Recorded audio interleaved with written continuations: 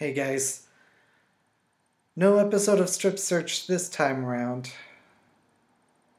Well, because it is October 5th, 2011 at uh, 9:12 p.m. and by now you've all probably heard about the death of Apple's CEO and founder Steve Jobs. I suppose part of me isn't really surprised because, I mean, we all know that his health was questionable to say the least these past few years. I mean, with his bout of cancer and um, his liver transplant and all that stuff still, that doesn't make it any less heartbreaking.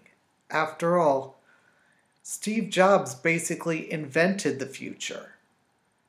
I mean, he went from a from his parents' garage working on a like a mess of circuit boards in a wooden box to becoming CEO of a company that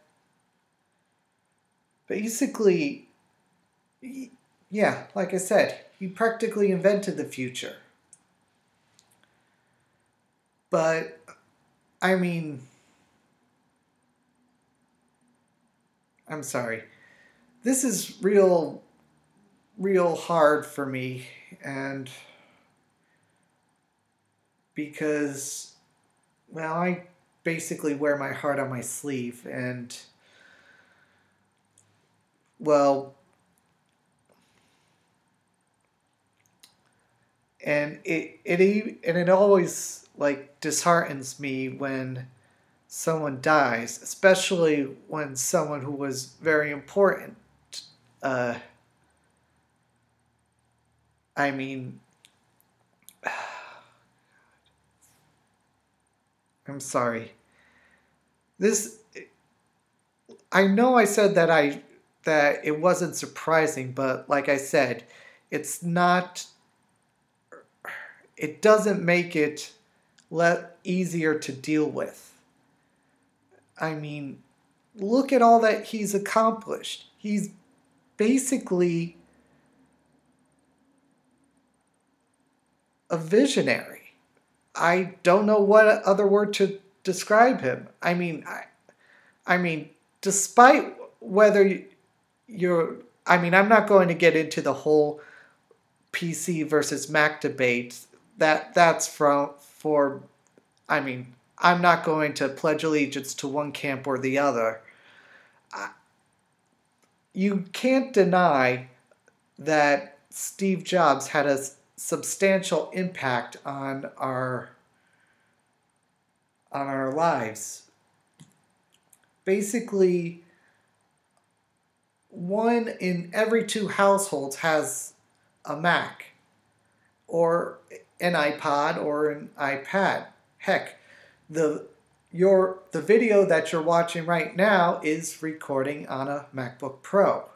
So there's my secret. But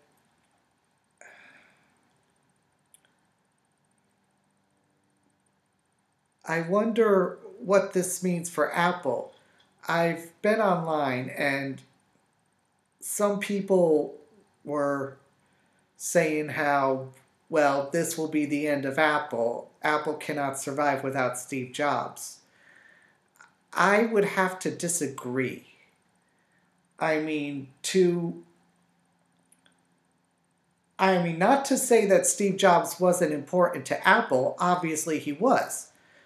After all, he founded the company. But I think Apple has gotten strong enough that they can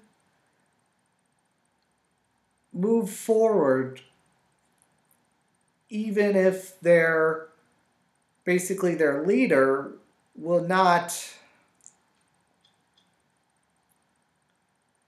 even if their leader is not with them.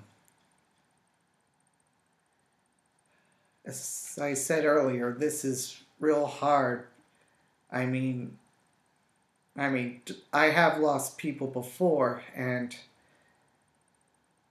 even and even now, it's not really that easy to lose someone.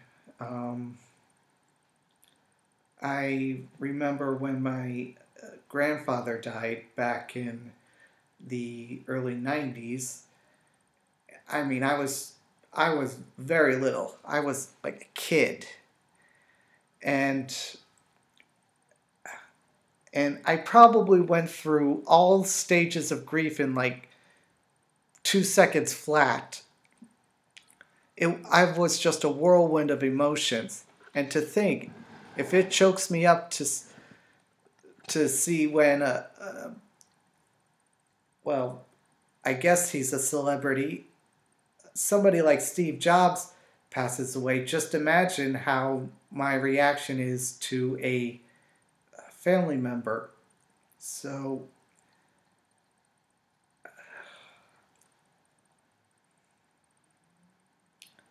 I just think that no matter what you may feel, whether you're Mac or PC, you have to respect Steve Jobs for his history. I mean, he went from being a virtual, forgive the pun, from a nobody to a household name. I mean, obviously it wasn't easy. I mean, he was basically kicked out of uh, Apple in the 80s and formed his own company only to have it absorbed into Apple, then became CEO again. Uh, well, I, I'm sure there's someone out there who's more knowledgeable about it than I am. Anyway, uh, I just wanted to make this recording to extend my heartfelt condolences to his family and to Apple. He, I'm sure he was a, an incredible individual, a, a smart man, and one of the few who could actually make geekery cool. So, Steve Jobs, I just wanted to say so long. I fear that the world will never get another man as innovative or as futuristic as you. And for that, I tip my hat to you.